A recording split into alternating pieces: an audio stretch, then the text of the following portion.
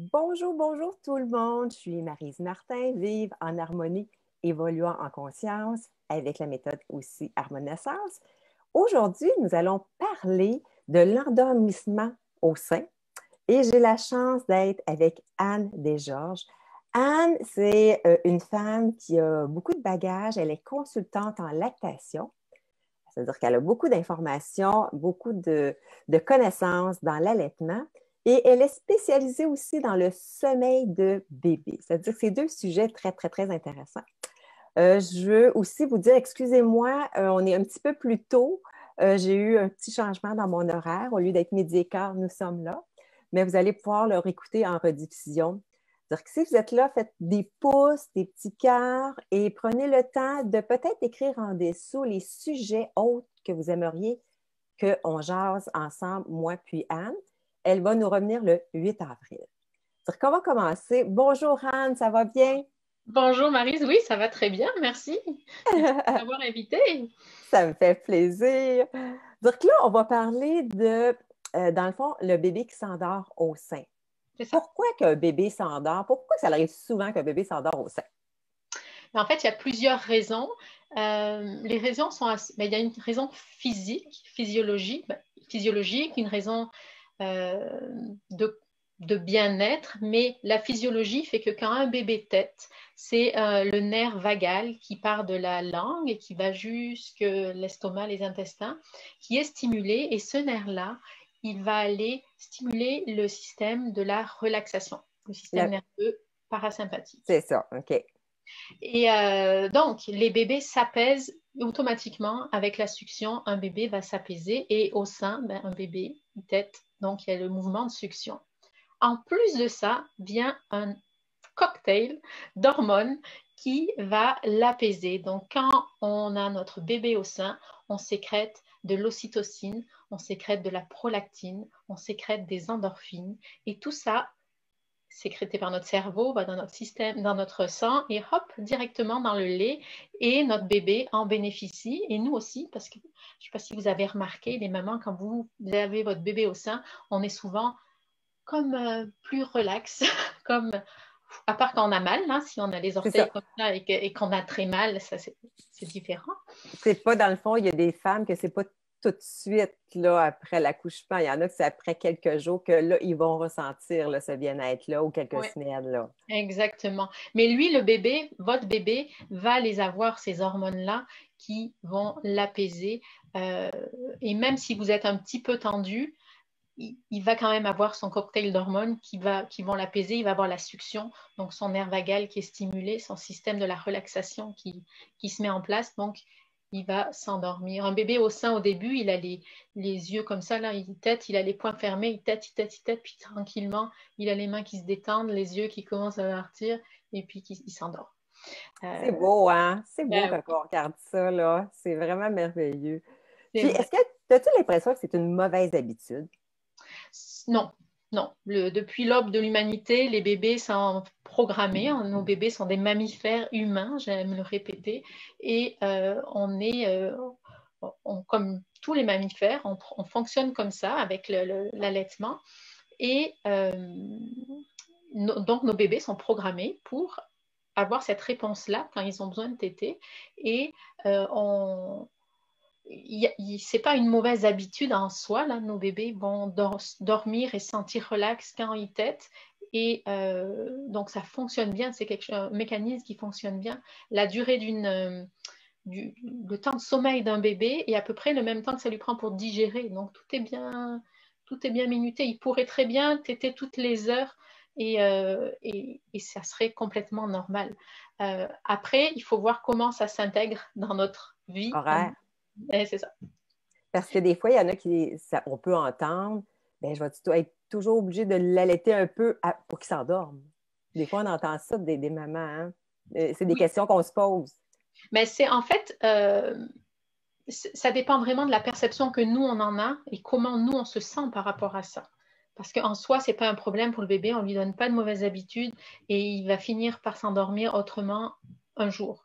Ce jour-là est plus ou moins proche entre euh, six mois et trois ans. Ah, c'est bon?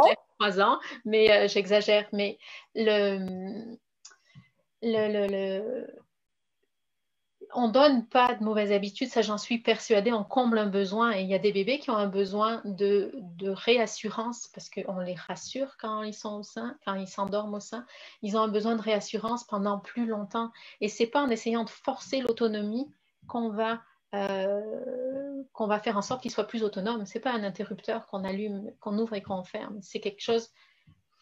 Euh, le bébé va être prêt à un moment donné et c'est peut-être pas quand nous, on aimerait que, appuyer sur l'interrupteur. Donc, c'est arriver à avoir des attentes qui sont peut-être euh, plus réalistes en termes de, qu'est-ce que mon bébé est capable de faire. Après, ça ne veut pas dire qu'on on est on peut essayer d'autres choses pour essayer aider, aider notre enfant à s'endormir autrement, mais je suis convaincue que ce n'est pas une mauvaise habitude, c'est vraiment un besoin qu'on comble. Euh, donc, il y, a, deux, il y a des avenues qui s'offrent à nous là, si on se sent prisonnière de la situation.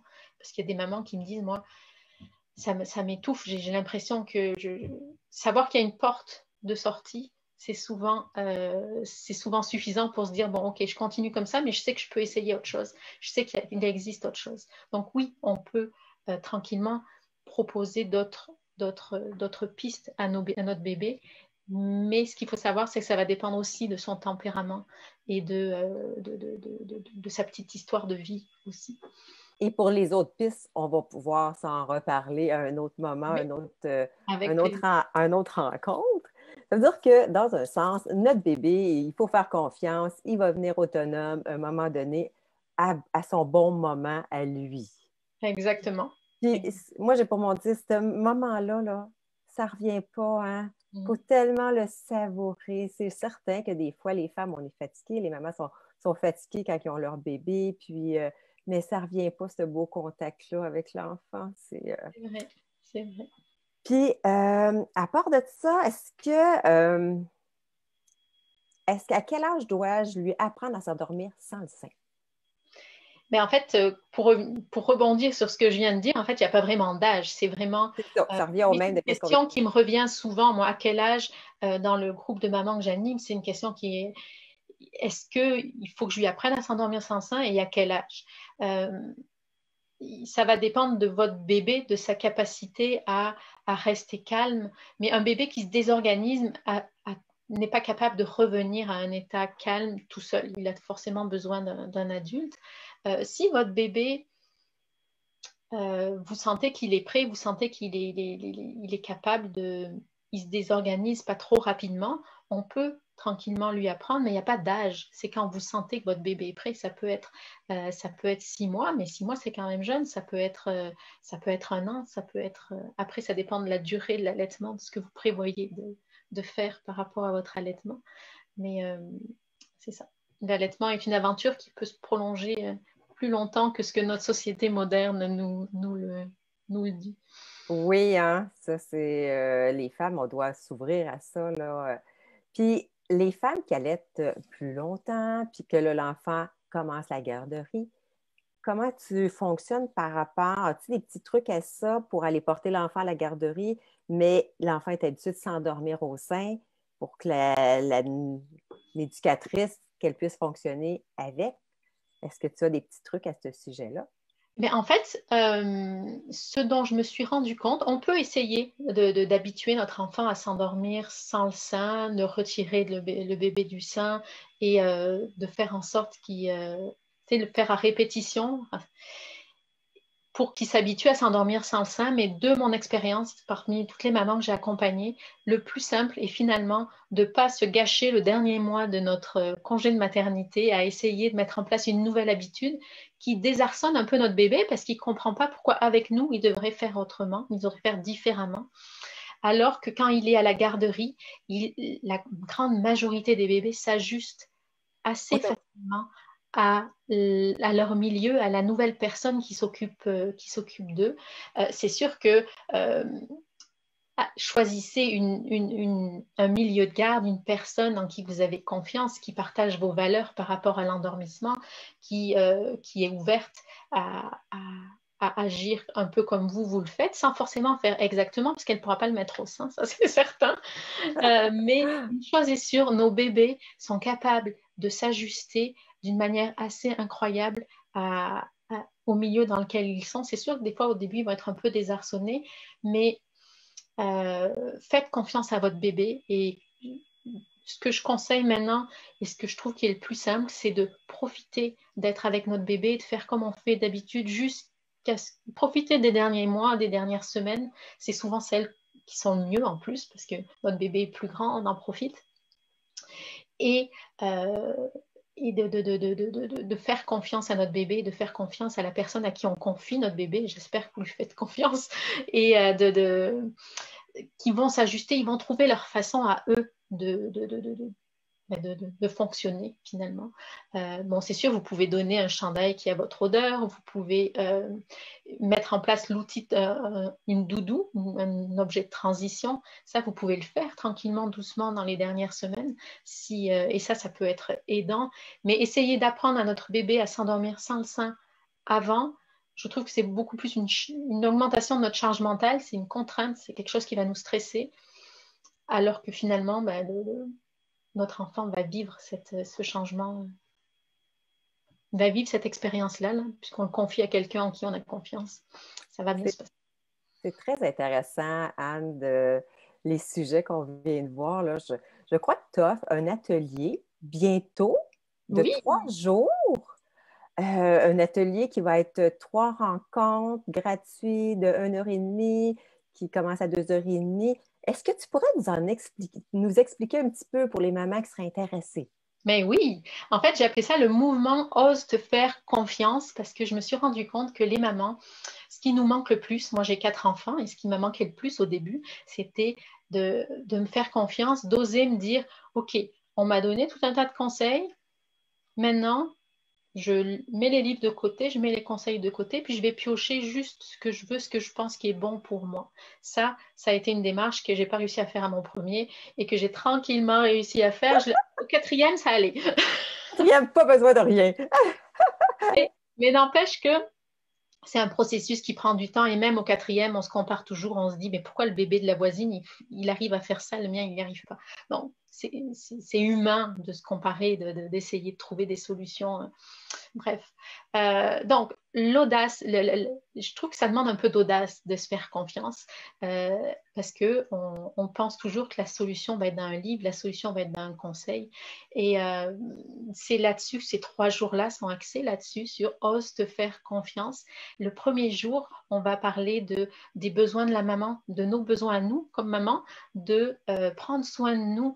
Ça ne veut pas dire qu'on prend plus soin de notre bébé, mais souvent on a tendance à penser que la maman parfaite, c'est la maman qui, euh, qui est dans l'abnégation et qui s'oublie, euh, alors qu'il y a des moyens, et on le verra dans les ateliers, des moyens d'arriver à prendre soin de soi à part petites doses, mais qui font quand même du bien, qui nous permettent de nous retrouver un petit peu.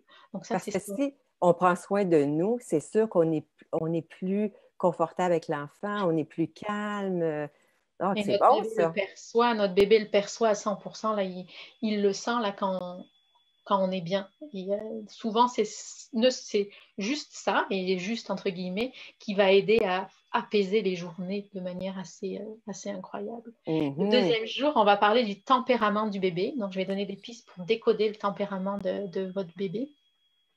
Et euh, moi, j'adore. Toute, ma pratique est basée sur le tempérament des bébés. Donc, je pars toujours du tempérament de l'enfant, de la maman, des valeurs de la famille. Et puis, on tricote là-dessus, là, on trouve des solutions que ce soit pour le sommeil, le plus souvent pour le sommeil, l'allaitement, c'est souvent un peu plus euh, mécanique, donc euh, c'est un peu différent. Et le troisième jour, on va parler de la fameuse autonomie. Est-ce que mon bébé sera-t-il sera un jour autonome? Donc ce sera le, troisième, troisième atelier, ce sera là-dessus. Et dans le fond, tu vas avoir les thèmes, puis est-ce que les mamans vont pouvoir te poser des questions? Ben oui. Ben oui, oui, oui, oui, oui. Donc, je vais aborder les thèmes, je vais donner de l'information, puis après, on va échanger. L'idée, c'est vraiment, euh, je, vais, je vais proposer aussi aux mamans de, de, de, OK, on est ensemble, on est dans un mouvement, on va essayer, essayer telle ou telle affaire. Donc, et puis le lendemain, elles pourront me dire, bon, ben, j'ai essayé ça. Et après, dans le groupe, ça va se passer dans mon groupe Nouvelle Maman Intuitive et Sereine. Donc, dans le groupe, on pourra continuer d'échanger dans les jours. Oh, c'est merveilleux. Ça veut dire que toutes les personnes qui, nous écoutent, supposons si tu es enceinte, tu viens d'avoir un petit bébé, ben, je t'encourage beaucoup d'aller à l'atelier de Anne. Euh, partage l'information à tes amis aussi qui sont enceintes. Euh, euh, faites des petits pauses, des petits cœurs et partagez et commentez. venez déjà écrire en dessous c'est quoi vos problématiques, tout ça. D'autres mamans vont pouvoir voir. Puis, si vous, vous voulez aussi, le 8, on va répondre à des questions là, le 8 avril sur l'heure du dîner encore. Oui. un énorme merci Anne. On a effleuré des petits sujets. Dire que si vous voulez aller en profondeur, je vous suggère fortement de communiquer avec Anne. Dans le post, vous avez toutes ses coordonnées. Puis en dessous, Anne, tu vas mettre, je pense, là, euh, le lien pour euh, qui, parle un petit peu plus de l'atelier, je pense. Hein. Oui, mais je vais mettre les commentaires. C'est ça. Dans les commentaires, j'ai mis une publication en ligne hier. Je vais, la, je vais la partager dans les commentaires. Comme ça, vous pourrez avoir un peu plus de détails sur, euh, et il y aura un lien pour vous inscrire euh, aux ateliers si, euh, si ça vous tente de me rejoindre. Super, c'est juste, juste, juste à temps pour pouvoir vous inscrire. Exactement, c'est le bon, bon timing. Merci Anne.